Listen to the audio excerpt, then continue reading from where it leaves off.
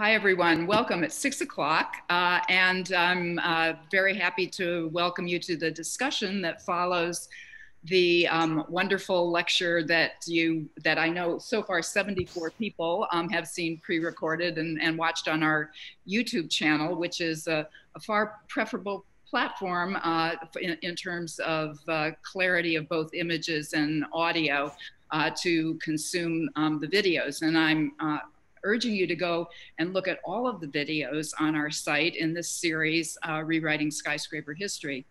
Before I introduce uh, Joanna and uh, also Tom Leslie, or reintroduce him because you've now seen him a, few times in this series, and we're delighted that he could join us for a, a conversation about uh, labor. Uh, you may have, if you came early into the room uh, at five o'clock, seen an excerpt of the talk that he gave back in September on uh, masonry to metal or and material matters where um, he looked at the role uh, at the end of the talk about um, of the, the role of, of bricklayers uh, and their um, organization uh, to uh, affect legislation, their threats of strikes, uh, and the continuous movement from masonry to metal uh, that reflected an urge uh, a desire to industrialize and to uh, remove labor as much as possible from the equation of skyscraper building. Um, and that is very much uh, a, a, a, central uh, focus of Joanna's talk.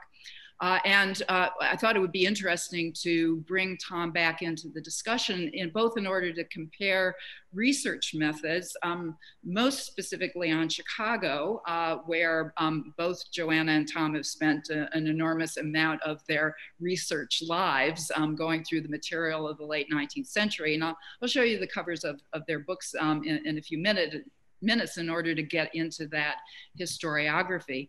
Uh, but I thought, in addition, the questions of how they did their research, the kinds of materials uh, where um, to to search in order to find kind of some um, fundamental sources that may not have been probed so much by um, uh, earlier scholars or that still need to be exposed in new research. So we want to have um, at least a two-part um, aspect to this discussion, looking at research strategies uh, and places to look, research questions, uh, as well as on the specific subject of labor and um, capital and skyscraper construction. Rewriting skyscraper history, looking back from the 21st century. Well, we're all here in the 21st century, um, and part of this idea of the perspective of looking back from our, our, our current moment uh, is part of a unspoken lecture that I hope that I'll give um, sometime in December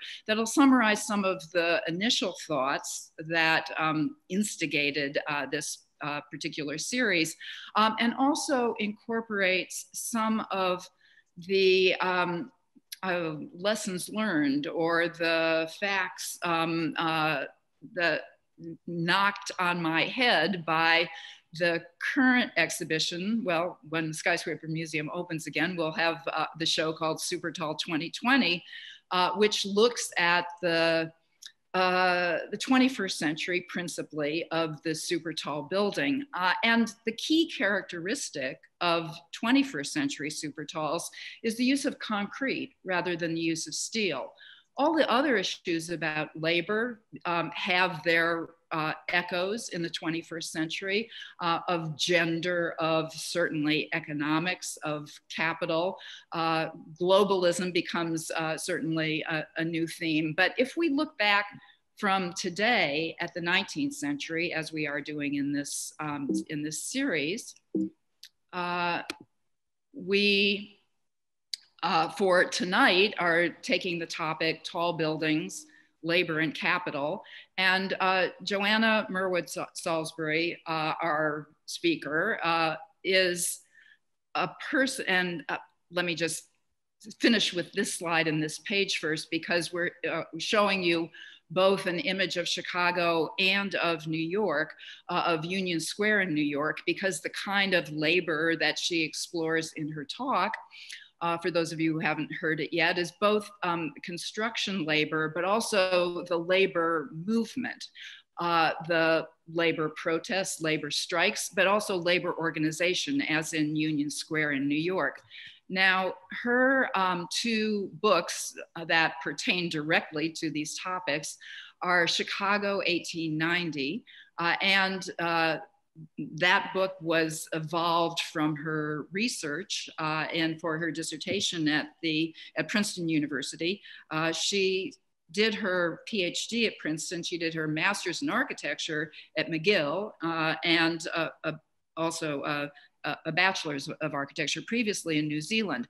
Ah, and I failed to, um, to mention that she's joining us to, uh, tonight from Wellington, New Zealand. So this is a wonderful example of some of a, a situation where Zoom really enables our, our, our global reach.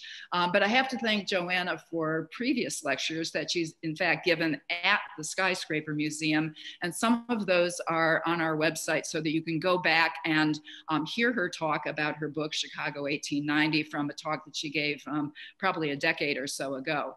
Now, her work on New York, in particular on Union Square, uh, in the other uh, image that you see here of the cover of the book, Designing for the Crowd, uh, Patriotism and Protest in Union Square, uh, found its um, center in close proximity to her, the place that she was teaching at that moment, which is Parsons School of Design on 14th Street.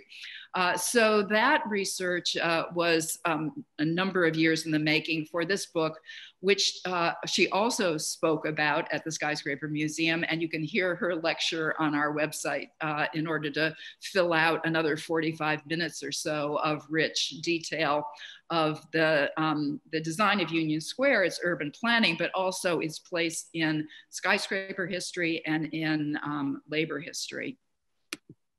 Uh, and uh, there it is, Union Square, looking south um, during the first Labor Day parade in one of the images that she, she showed um, in her lecture tonight.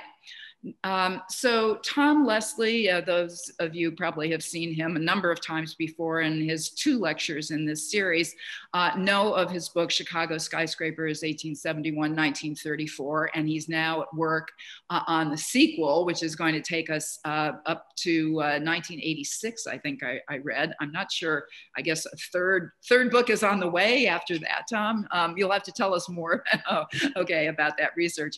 Um, but in any case, um, you know Tom as a professor from the from uh, Iowa State University, and he's um, joining us from Ames, Iowa tonight. So, um, his talk, Masonry uh, to Steel, in the series where there was a, a, a pair of talks by Tom and, and, Don Friedman, and I show you Don Friedman's book here too, um, just out, if not almost out. The structure of skyscrapers in America, again, the same um, period of, of the late 19th century, the last decades of the 19th century that we're focusing on in this semester's series. Um, and in the title of Don's book is this lens of structure, which is one of the ones um, that we have already explored and that we'll continue to talk about um, tonight. Uh, of course, the, the dean of uh, the history of the skyscraper in Chicago, uh, there's an immense amount of scholarship on Chicago, as there is in New York, but Chicago somehow is the, um, the hometown of architecture um, with its broad shoulders uh, enabled by steel. Um, it, it takes um, as such a great part of its identity, its relationship to the skyscraper much of that scholarship in the era of Condit is focused around these questions of technology um, and, um, and, and, structural um, uh, invention uh, and technological invention. Uh, we're going to talk about some other lenses of history tonight. Uh, history of technology is one that we've already uh, concentrated quite a bit of time on in this uh, semester. Architectural history, obviously, um, I'm an architectural historian. This is a kind of principal lens for me. Uh, Donald Friedman has talked about how the lens of architectural history always seem always privileges the building itself. So that's something to think about, especially when kind of the next um, broader universe in which to examine these buildings, urban history, uh, is a topic that brings in um, ac across many disciplines, whether it's uh, geography or American history uh, or landscape or environmental studies. Um, urban history, uh, it connects to, to many disciplines um, of history and other disciplines. Environmental systems, I think um, Tom Leslie can speak a little bit um, to this because it seems to be the approach um, that he pursued uh, in, in much of his work, but certainly in the talk that he gave on the grain elevators of Chicago. Uh, and also is in the lineage um, of the wonderful uh, uh, history of Chicago by William Cronon, Nature's Metropolis. Uh, and then of course, social and economic history. There are also gender studies. There are, there are many um, slices at this history that we, uh, we could and, and will discuss. Um, I myself have, have focused on what I would call both the architectural and urban history of Chicago. And I'll talk about this another time. Uh, and something uh, that is at the center of uh, the, the place where I, st I started skyscraper, well, the skyscraper history and, and the skyscraper museum back um, when I was writing Form Follows Finance and looked at um, a, a, contrast between the skylines, the buildings and the skylines of New York and Chicago. And we're seeing Chicago there and we're seeing New York, um, the city of towers here um, in this postcard view of a later, peri uh, later period. But other questions, what are the other questions um, that we want to look at? And we're going to discuss that in our dialogue tonight. Let me ask Joanna to begin by um, perhaps um, a, a, very brief summary of, uh, you know, about the topic of your talk, why you selected it, um, and how it fits into your, your, your broad research. Kia tato. Thank you so much, Carol. Um, it's really great to be part of this series, and I thank you for the invitation to, um, to participate. When, um, when you asked me, would you like to be part of the Rewriting the Skyscraper Symposium, thought, yes, of course. All my um, great friends and, and um, people I respect are there, so I can't miss it. Um, but what can I bring that perhaps others might not be bringing? so I, I was really inspired actually by my most recent book, the one that you mentioned, Design for the Crowd, which is on Union Square um, in New York City. And that book is not about skyscrapers, although skyscrapers are involved. It's about um, urban space and the, the meaning of public space um, in 19th and 20th century America.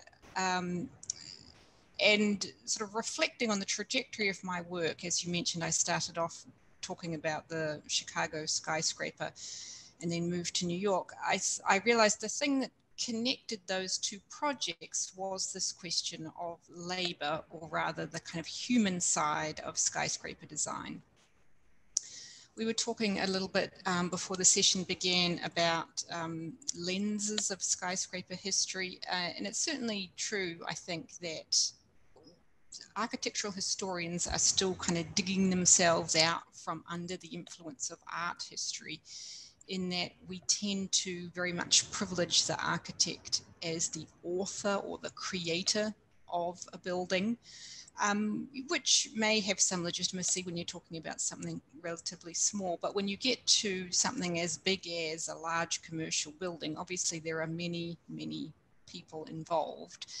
Um, and my um, instinct was to say, how can I talk about this larger body of what we might call actors involved in the creation of the skyscraper, not just people we know about, uh, Burnham, Sullivan, um, George Post, people like that, but also the contractors, the laborers, and also people who worked in the buildings when they were built, uh, new kinds of workers. Um, and the way people responded to this new skyscraper city that they were seeing created around them. So rather than just a few figures, looking at groups of figures. And for me, that's a valuable approach because it allows us to talk about a very wide demographic of people in, in urban industrial centers in late 19th century America, not just um, well-educated white men who were you know, leading the profession, but also um,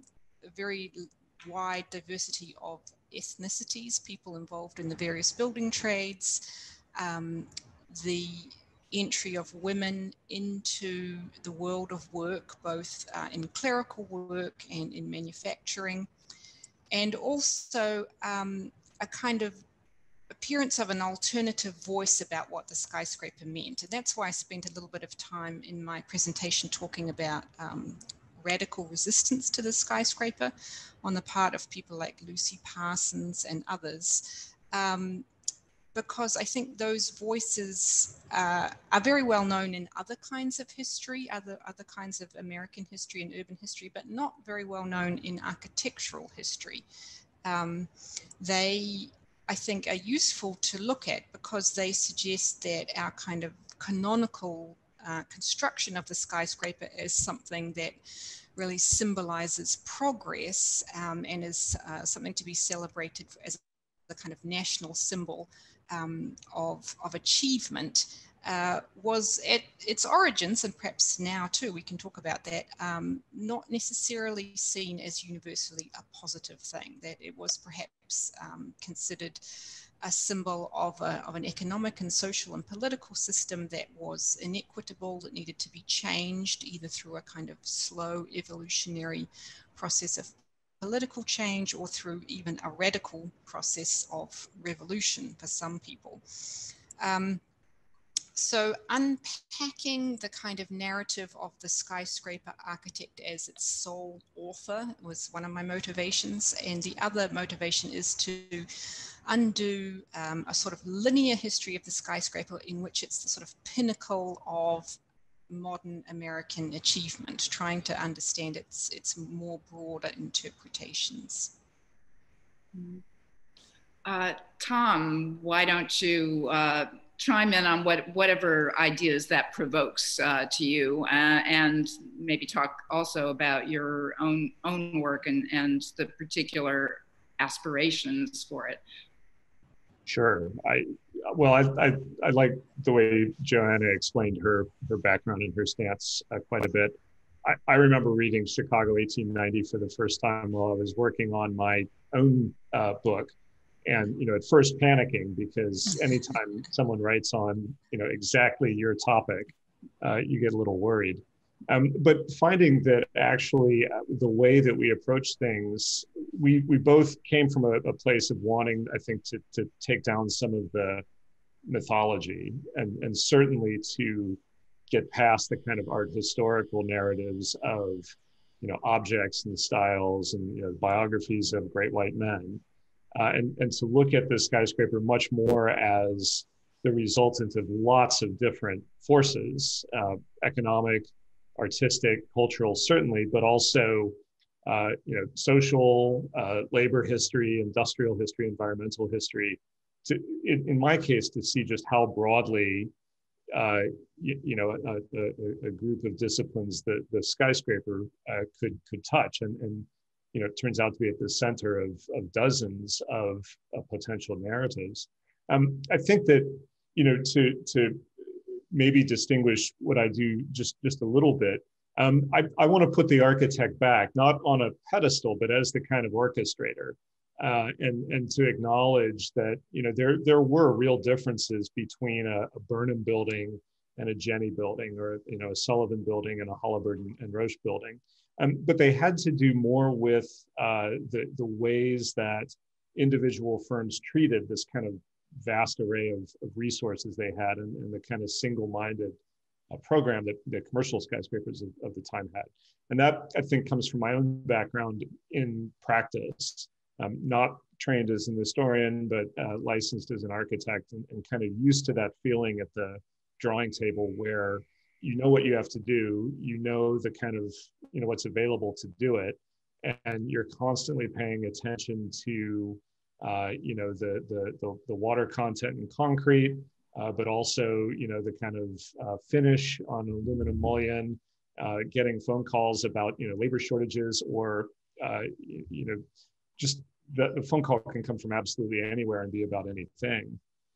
And so I, I very much always want to bring that uh, to my work and, and to point out that you know there is someone there who's who's trying desperately to orchestrate all of this um, and that as we're looking at the kind of broad array of forces, and the skyscraper is a kind of evolutionary thing. That it's not a, an anonymous thing. It's certainly not a vernacular thing. That um, it is this unique intersection between uh, you know broad global national forces and occasionally you know very very strong economic desires on the part of the client, but legitimate uh, aesthetic desires on, on the part of the architects uh, as, as well.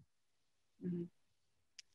Um, well, that makes me think, Joanna, about the um, speaking of or- orchestrating, uh, a profession that's that's left out of your formulation, and that is the the the role of the builder or the general contractor, which begins to emerge in the 1890s in Chicago in particular, I think. Um, of course, there were builders earlier than that. So I have, I have a two-part question for you uh, to expand on, on your talk. Can you, can, in the, uh, can you paint um, a, a somewhat more detailed picture of labor as as the laborers within their individual building trades um, and tell us something a little bit about mm, the, um, the daily wage uh, at the, in the period that you're looking at in the, in the 1880s, um, the kind of uh, ethnicity formulations of the different trades, um, and then juxtapose those. Um, so rather than seeing them as a group, as labor, to see them as laborers um, and tell us you know how, how do you get at that material? Um, how do you learn what the uh, what the daily wage is when someone's striking? Maybe hear about it in the newspaper but what other kinds of records are there that we can probe?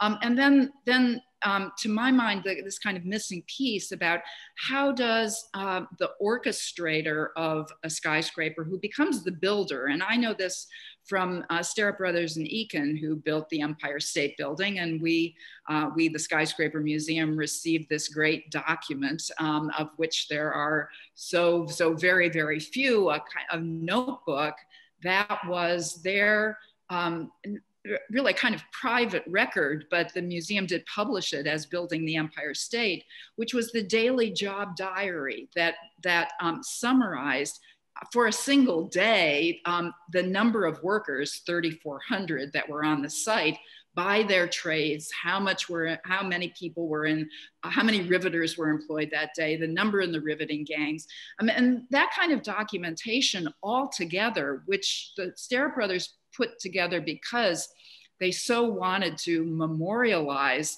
their expertise and their phenomenal Herculean effort at orchestrating the work site, which was the, the as, as great or greater an accomplishment, the speed of construction than the height of the Empire State Building um, and its overall size. So um, it was it was through the Starrett brothers in the 1920s um, that I traced back my interest and whatever research I could do into the earlier decades of um, building contractors. George Fuller, of course, is um, the name that, that most particularly comes to mind um, and, and has been the most studied. But in the generation even before that, as the um, as the the role of the general contractor actually becomes professionalized because it becomes so much more um, uh, coordinated, uh, right? And becomes a part of what I want to be, I hope, the third part of our discussion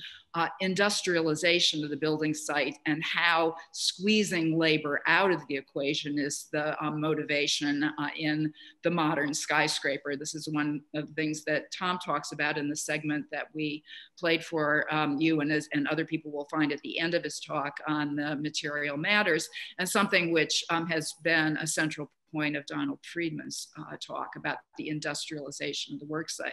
So Joanna, long, my, I, I talked far too long in setting you up, but uh, first talk about labor um, and yeah. laborers.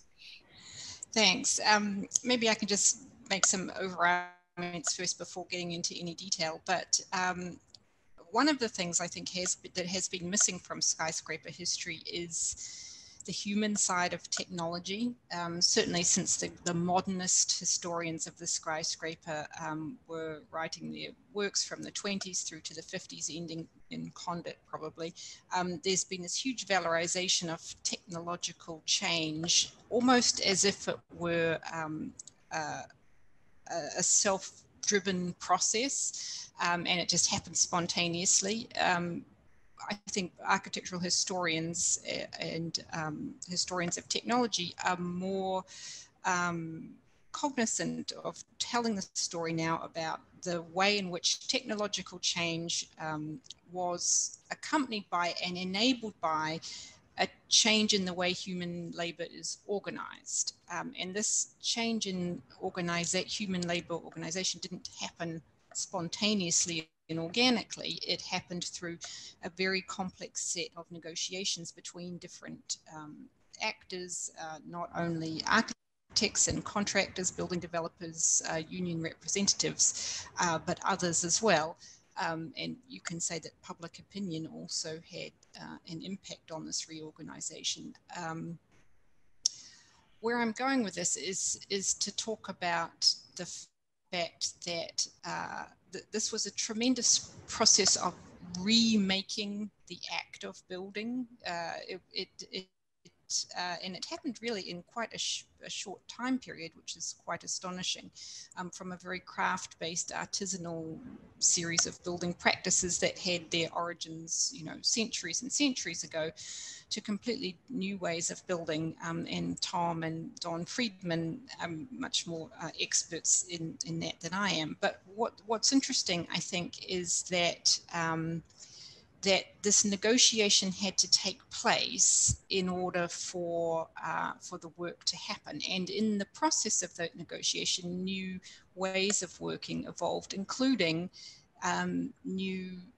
professions like the contractor and um, the new systems of organization, you know, what we might call today project management, basically. This is the beginning of project management. You have spreadsheets to organize all of these people. You have time charts to look at um, the projection of each trade and how long it's going to take and how it interacts with others. Um, and when you look at the the skyscraper on the skyline, you know the great iconic shots. It's it's easy to see them as expressions of technology of materials, but it's less easy to see them as expressions of um, majestic project management. Um, and this is something that I think your book really helped us all to see, uh, Carol, the kind of economic factors that made these buildings possible.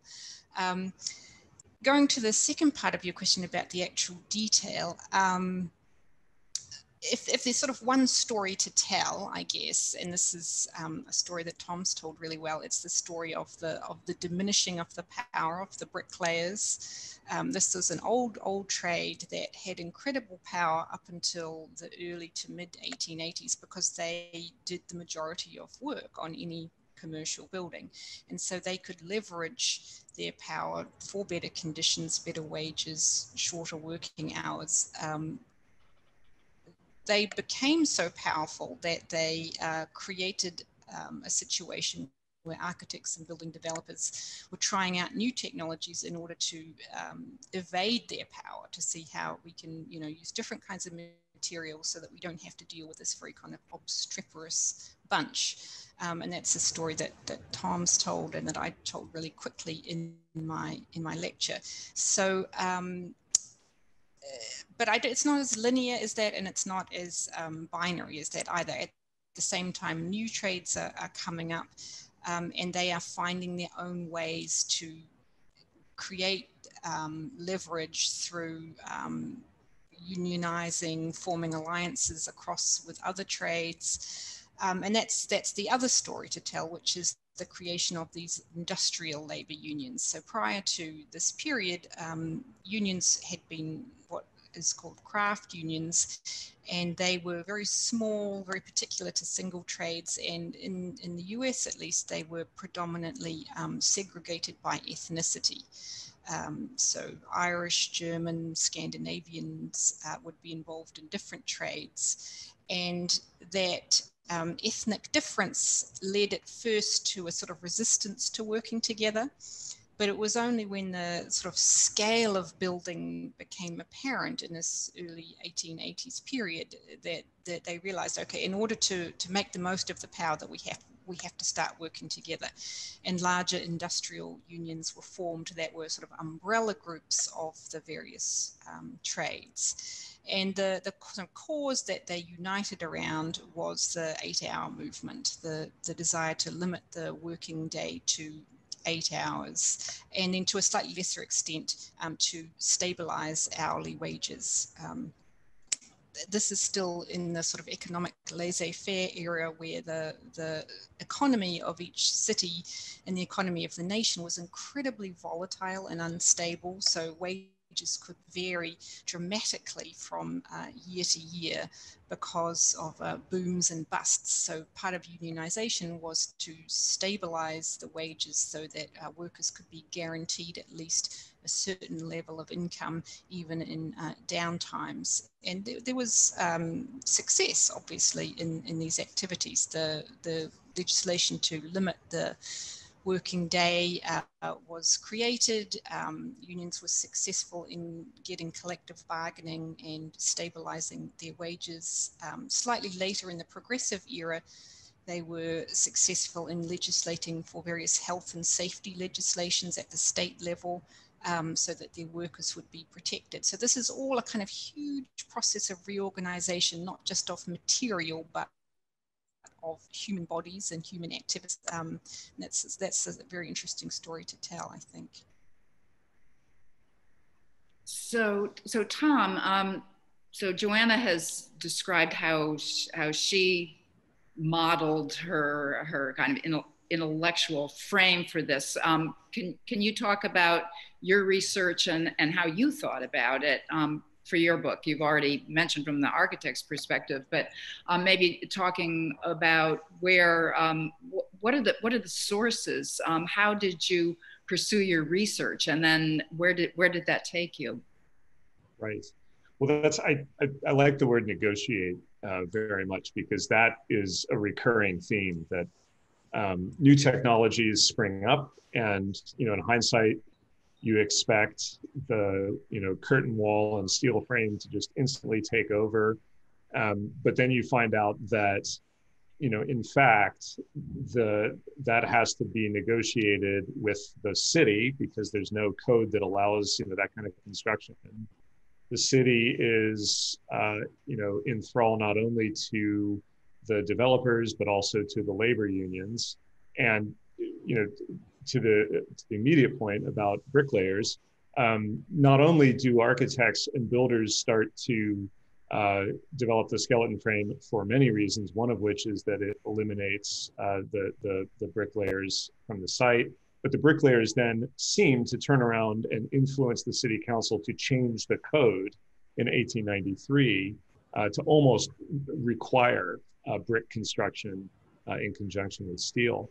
So there's this back and forth that, um, in, in, terms of sources, I find I have found occasionally in professional journals, uh, but also in things like press accounts of city council meetings, in city archives, in you know the minutes of uh, of of, uh, of, of, public meetings.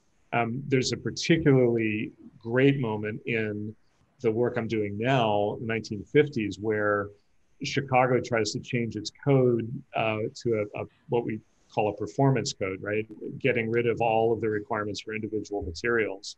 And there are long transcripts where um, the biggest controversy in the building code is gypsum drywall, which today is just the most ubiquitous, taken for granted material on the planet. Um, but at the time, it actually pits uh, the union of plasterers who have had all of the work of finishing every residential and commercial building in the city against the carpenters who have this new material that they can literally nail up you know in a matter of in a matter of minutes. And it's it's the the arguments back and forth not even with the union between the union and the city but between two unions where you start to realize that technologies new types you know all, all these things only really emerge as they get worked out uh, occasionally. And, and, in this case, spoiler alert, there's a fist fight on the floor of City Hall uh, in Chicago over the, the use of gypsum drywall, which is just fantastic. Um, but but you know they, they they literally these developments literally get fought out and it very often is a, a, political thing. Building codes are political documents at the end of the day. And so that's that's been one source for me that I've gone back to again and again. Just the very, very kind of boring pedestrian um, you know, minutes of city council meetings or press coverage of city council meetings where you realize that the the, the, the buildings that you see in say 1960 are in some ways designed in 1950 and 51 when the, the new code uh, is actually developed and not only kind of um, uh, you know we think of codes usually as limiting uh, possibilities but in this case in a lot of cases they're written very specifically to channel energies into other um, you know kind of uh, uh, materials or uh, or um, skilled labor that's been kind of sanctioned one way or another by the by the political force of that group in the in the in the city. Um, and I think there are there are untapped sources uh, for this as well. I think you could probably uh, tell a very good skyscraper history if you went into uh, you know union records uh, from way back and looked you know as, as Joanna said about you know literally who were the people who, who built these and and and what, how were they connected. I don't I have, you know, taken a very glancing look at the, the role of uh, unions and labor in skyscraper history. I think there's, you know, practically an infinite depth that, that one could go into if, if you could find the right records. So, Joanna, it, it, along the same lines, where did you find your richest sources um, for uh, for research, and and what what other questions are harder to get at? Um, what questions would you want to pursue uh, in further research or would, would advise maybe graduate students um, to look into uh, in avenues where there, there just hasn't been uh, enough work done? It's not necessarily because the sources don't exist, but we just haven't gotten around to thinking this way about it yet.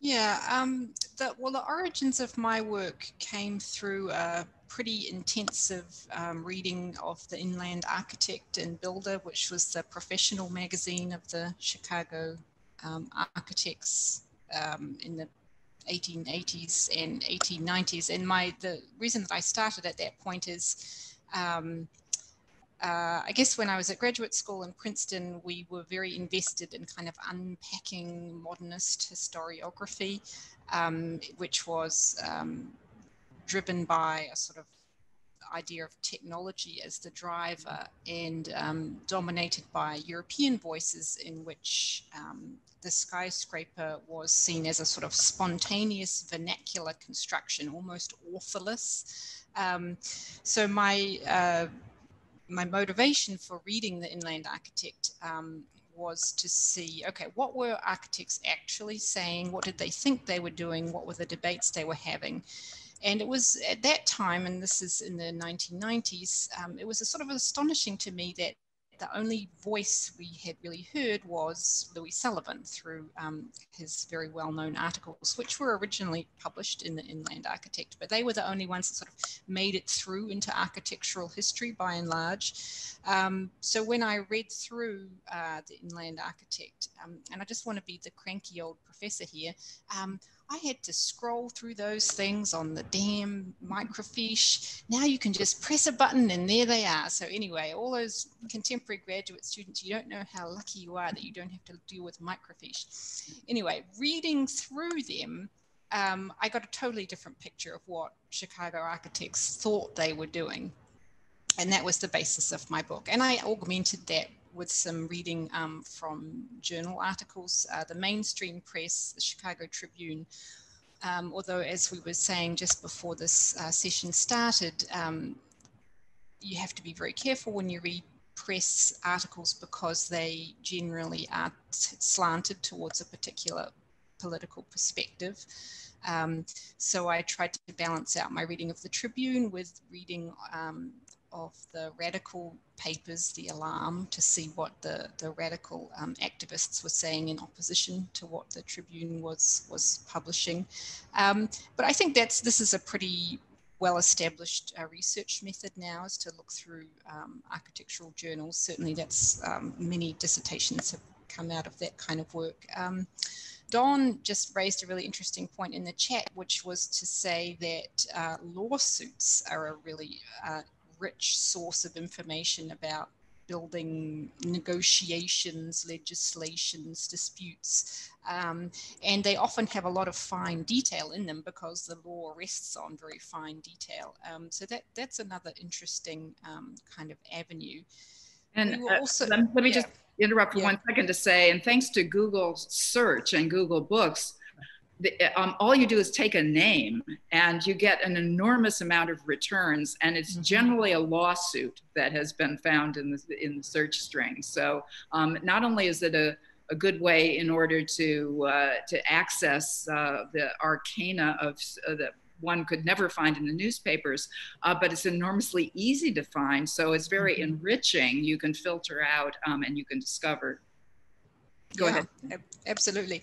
Um, but we were speculating that there must be um, the record books of contractors out there somewhere. Um, I don't know of any specifically. Tom probably has better information, but I think um, if one could find such a thing, and it potentially they don't, they exist, they've been preserved, I should say, in, in smaller cities. Um, and that's a, a, another thing that I want to say is um, we're a little bit guilty of repeating this privileging of Chicago and New York. Obviously, these are not the only cities that tall buildings were built in. They were built in many, many cities and across the nation, and they have different configurations and different pressures on them. Um, so perhaps out there in, in another city, there are some great uh, contractors record books that uh, a graduate student could um, make great use of. Mm-hmm. Well, um, you know, at the Skyscraper Museum, we have the job book of Paul Starrett that goes back to his, his years uh, with George Fuller when he represented the George A. Fuller Company in New York City. Um, they go back to about, um, off the top of my head, I think maybe 1904 or something like that. But they're, they're simply compilations of the final pages of the cost of everything right? It's very unusual to get any kind of detail about, you know, as we had for the Empire State Building as a, as a kind of snapshot of the triumph of organizing this work site.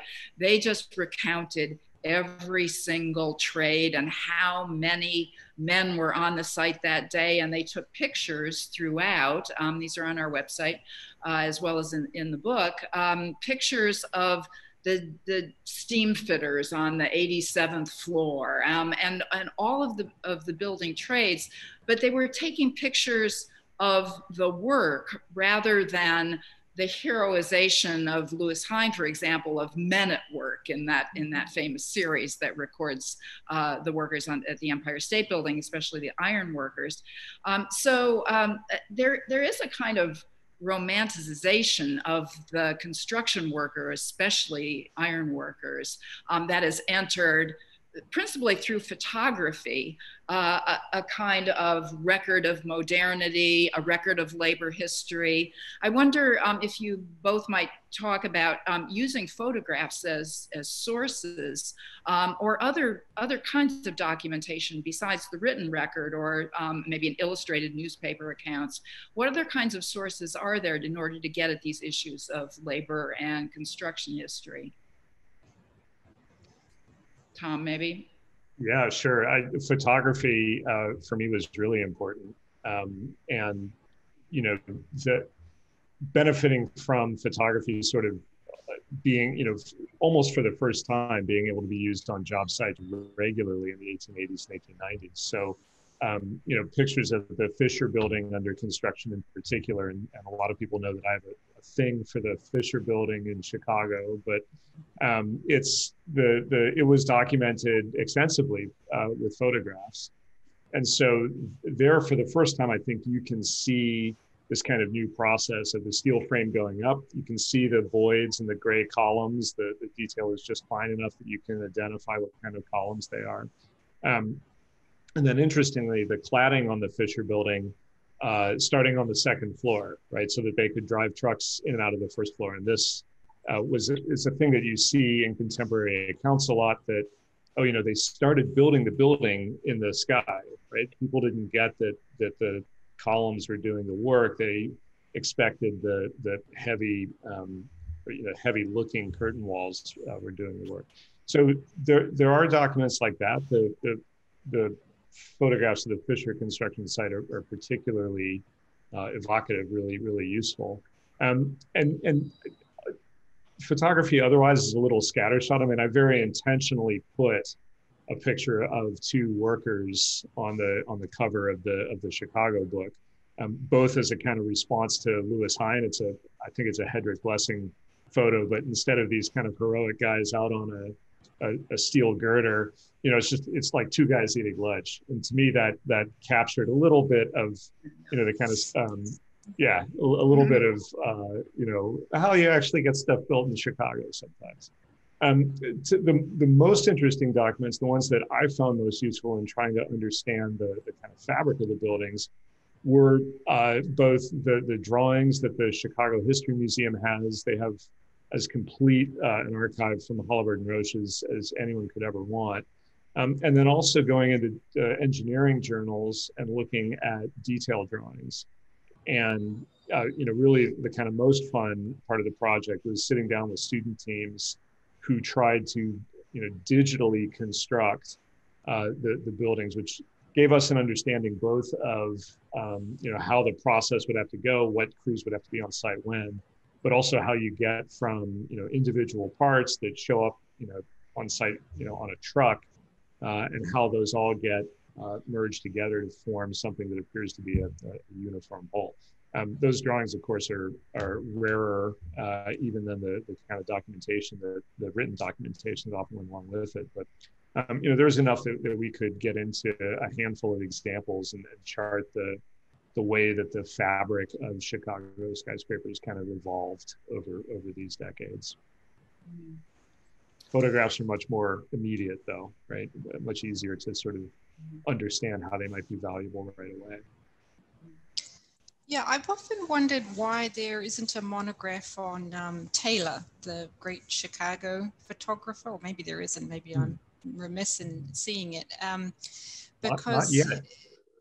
Not yet. Not that's yet. a great topic. There's a huge amount of his work that's available, um, and uh, you know, Claire Zimmerman, who is there, is here. I think has written some incredible um, scholarship on the role of photography in the creation of an idea of modern architecture. Um, but there's more, I think, written in the European context than in, than in the American one. And a, a book about Taylor could be so interesting because his shots of these famous buildings are so iconic. You know, they're reproduced over and over again, but there's a certain formula to them. They're always taken uh, with the corner leading the shot, and they're taken from a certain um, point up in an adjacent building so you can see the building as a kind of object.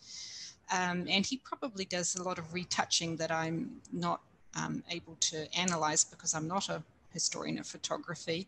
Um, but just the, the, the importance of his work in the whole historiography of Chicago architecture almost can't be um, underestimated or overestimated. Um, so yeah, please somebody write that book. Mm-hmm. Interesting.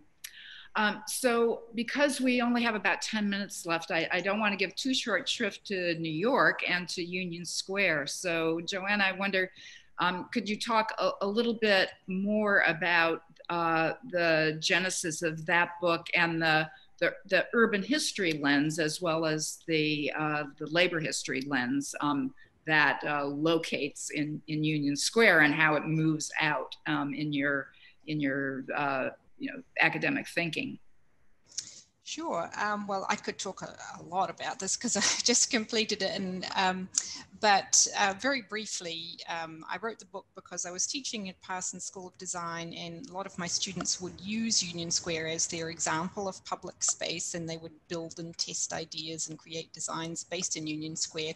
And there didn't seem to be um, a good history of it, um, apart from an interesting article by Rosalyn Deutsche, the art historian um, talking about a very specific aspect of its gentrification in the 1980s. Um, so that that's what got the, the ball rolling on that book to talk about it as, as a kind of atypical but important example of what Americans think public space is and what it has meant since the between the 1830s and the late 20th century. Um, but the reason I brought it into the talk for you, Carol, is that um, it is a kind of site um, in which labor history and the skyscraper come together in a fascinating way because there's so many examples of these interesting second and third generation loft buildings around it, starting with the Lincoln and the Spingler building from the 1880s, going through to the Everett building um, and the Germania Life on the other corner. So um, it was a center of labor protest, but also a place in which new forms of skyscrapers were proposed and experimented with. The, the loft building that Andrew Dolkart has spoken about um, so extensively and in such an interesting way. So I thought it might be a good, a good way to talk about the skyscraper in, a, in, its larger urban extent, not just as an object, but as, a, as an urban entity that has a consequence on the environment in which it's sitting. Mm-hmm. Uh, and maybe we could all talk a little bit more about the identities of New York and Chicago as skyscraper cities. I mean, there really is no no place other than Hong Kong, really, that is so quintessentially identified with uh, the high-rise building and, you know, indeed the skyscraper.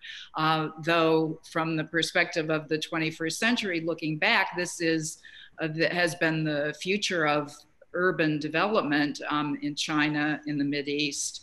Uh, most anywhere, uh, in, certainly in Australia, not so much New Zealand, I guess, right, uh, Joanna, but, but uh, Australia is, has gone big for the tall building, especially in uh, Brisbane and, and Melbourne. So, um, so maybe talk a little, a little bit about urban history and urban uh, urban identity. What can what can you say? Is that too ambitious? Is it too romantic? um, to to think about cities having this kind of image that is connected, uh, that is represented by its architecture. I know I, I tend to resist that uh, myself, but I wonder what your thoughts are.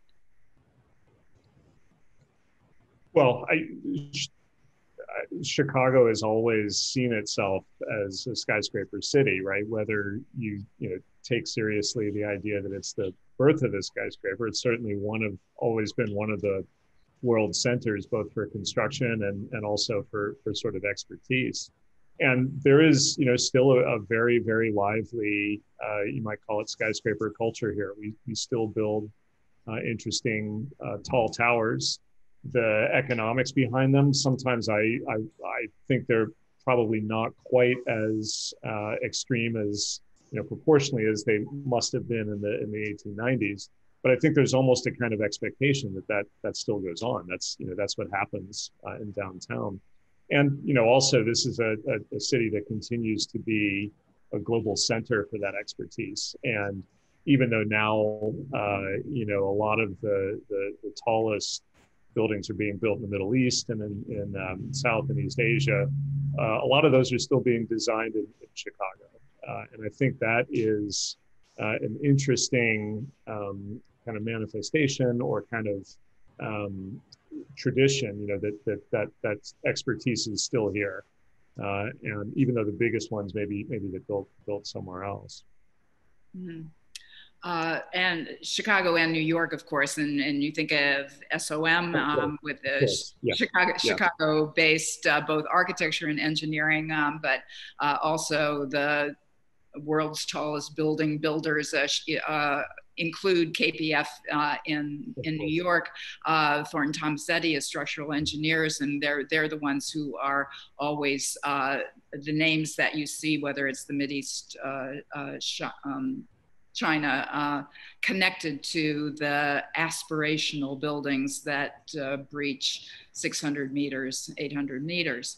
Um, so uh, Joanna, so is, is my question about um, trying as a historian to, uh, to divine, to summarize a city's identities um, through its buildings, is that uh, too, um, too broad and romantic a notion, or is it something, is, you know, is it something that you feel um, that, that you have, that you tackle in the you know, the slice that you're taking through the history of labor and capital.